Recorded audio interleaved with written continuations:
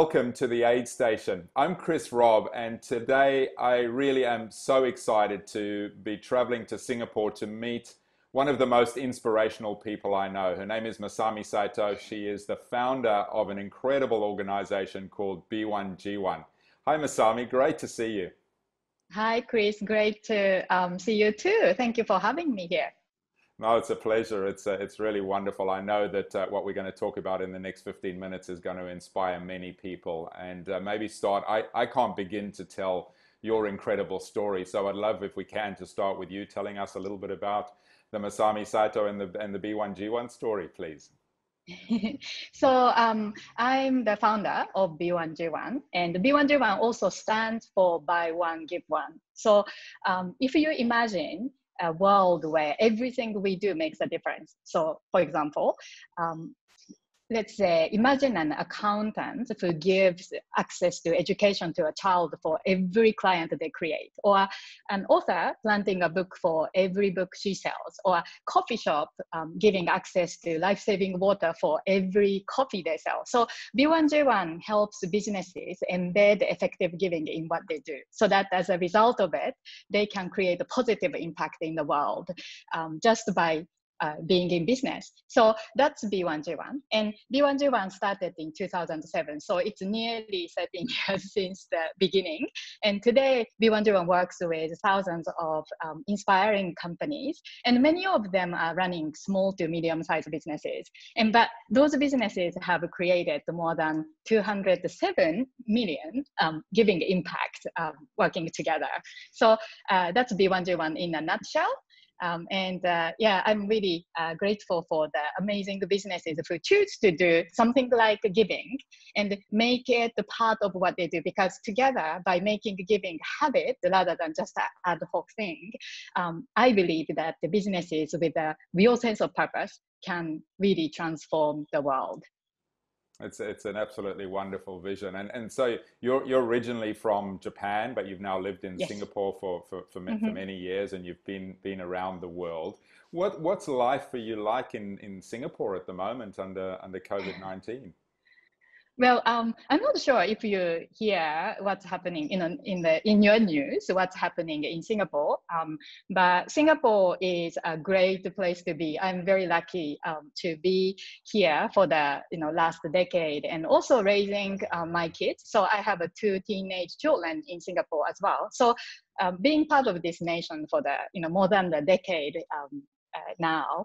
Um, actually, the way you know things work in Singapore is quite amazing because there is a very strong leadership, and also um, Singapore is as a city nation, you know, is very well organized. So um, even though we are actually facing uh, extremely difficult situations everywhere around the world, but um, we are you know staying at home and working from home, and uh, there is a lot of support from the you know local government. Things are quite well maintained and organized. So even though we still have a yet another at least two weeks to be in the lockdown, and from uh, beginning of June, things will gradually, slowly start to open up. Um, but we are actually, you know, uh, prepared to uh, to live with this for quite some time.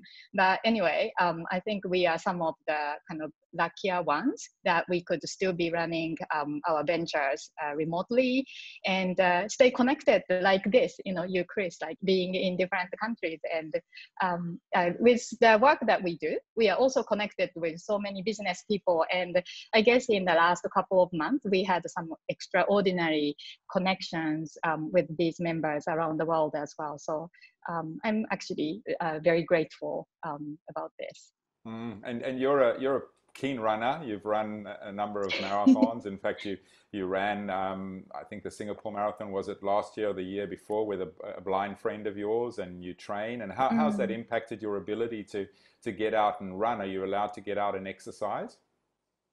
Well, um, actually, yes. So even though um, exercise or shopping, you know, those things are allowed, but we are encouraged to also do it um, alone or only with a few people from the same household, you know, maximum. So um, of course I can't join uh, races or uh, group runs, uh, which I miss. But at the same time, the fact that we could still get out there and then run among the trees. Um, so uh, I'm uh, actually running more probably regularly than mm-hmm. ever before because now I don't have to commute to work.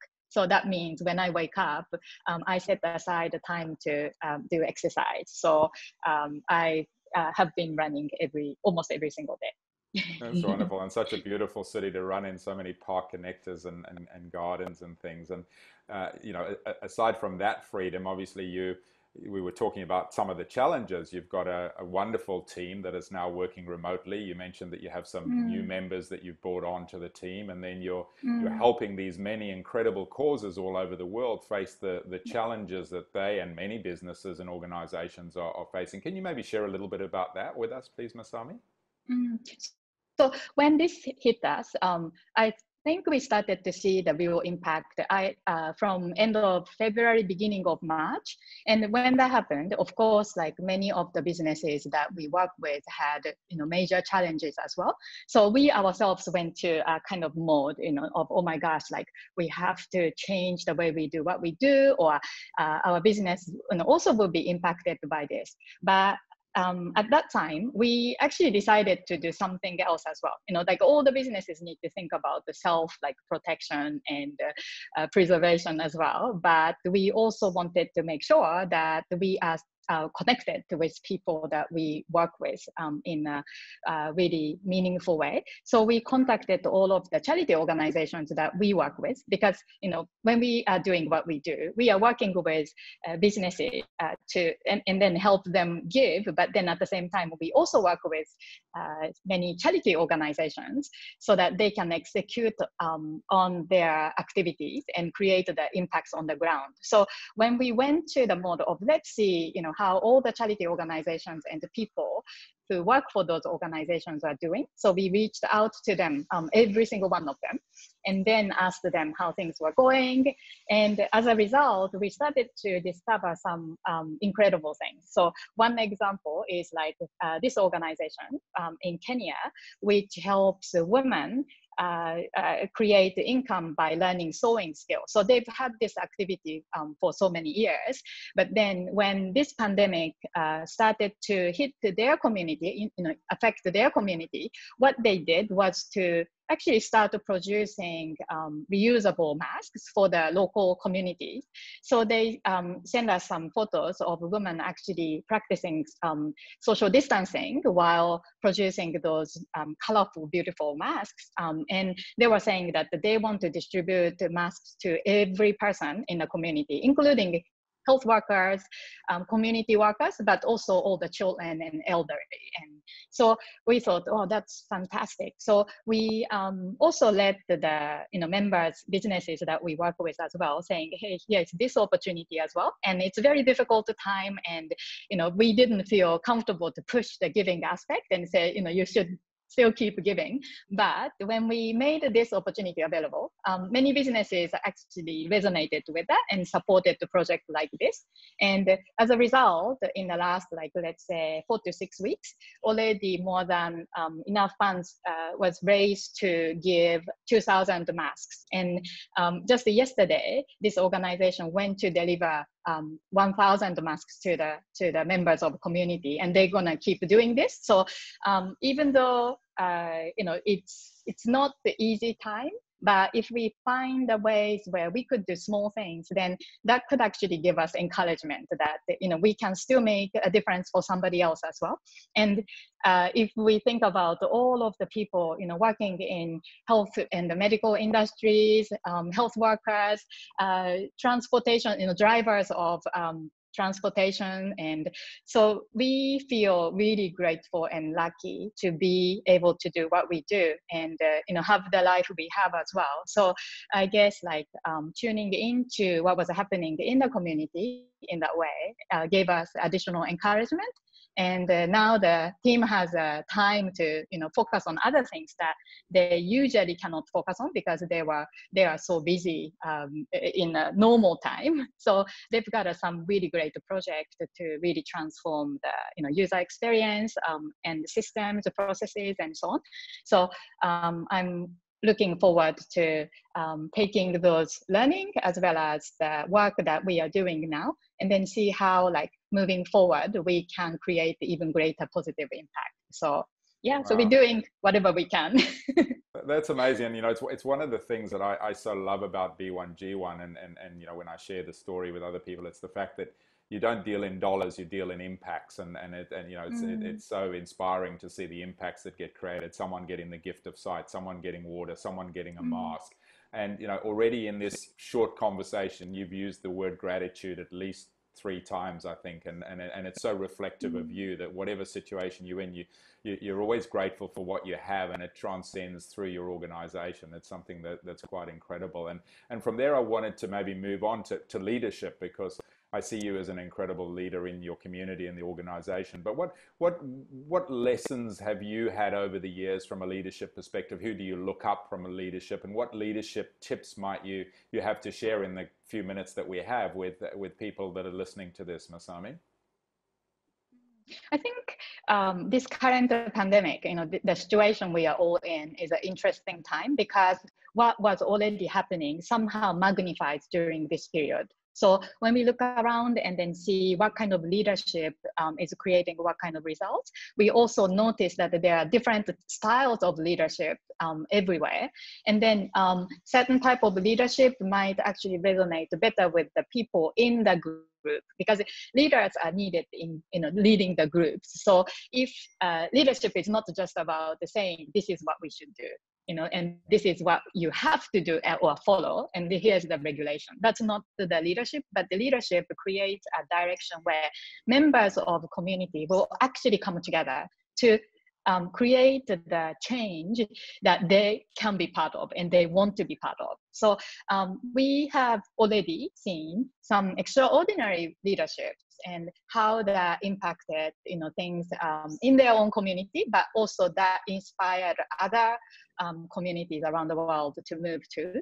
So I guess like uh, it's difficult to name you know one person as somebody I look up to because I actually take you know lots of learning and examples and lessons from many great leaders that I, I, I see and observe. And sometimes these people might not be famous. mm-hmm. You know, it could be somebody on the ground seeing like, oh, here's this challenge and I'm going to do something about it, even though I may not be able to change uh, everything, but I will make a change in this space. And then uh, when somebody takes that kind of action with that aspiration and a few other people start to follow, then I think that is a great leadership that we can actually learn from as well. Mm, so I think uh, for, you know, so far, I've already um, seen many great example of that, you know, leadership. And then I'm sure you have as well. Yeah, it's wonderful. And so, you know, sometimes we, we, we think of leadership having to come from presidents and prime ministers and CEOs, but the, the reality is it comes starts in communities, it starts in homes and uh, mm. and, and, and, schools and, and, and so many other areas of grassroots, if you want to call it that. Yeah. That's that's a wonderful wonderful uh, perspective on it. Thank you. As always, I love to finish on on on a, a high and inspiring note. I'm sure you've seen so many. I know you've seen so many incredible, inspirational stories in through your your time with B1G1. But is there something that maybe you'd like to leave? The audience with that's uh, that, that's inspired you, whether it be in these times or it's something that you've seen in, in previous times that, mm. that, that will would inspire people? Um, for me, I think the important message um, that always encouraged me was the power of small. And I didn't see it before, like in the beginning of my own entrepreneurship journey. But what happened um, in the uh, birth of B1G1 idea was this like as a you know business owner i had a, a, dream and aspiration. I wanted to make a difference and uh, i wanted to do something about the street kids uh, uh, um, i saw when i visited those countries um, in my youth um, backpacking around the world. So um, so that's why i started my own business trying to make a difference. But then on a day-to-day basis i felt small you know the um, problems around the world seems to be so big that no matter how hard I was trying, I could not make a difference. Or on the day-to-day business life, um, I was so busy and I didn't have enough time, or uh, our business wasn't making much profit, and as a result, we didn't have much to give. Or so all those things discouraged me, and then as a result, I actually didn't do much. You know, like I thought, well, like I need to become successful first so that one day we could do big things. One day I could build a soup kitchen and you know feed and educate a lot of children.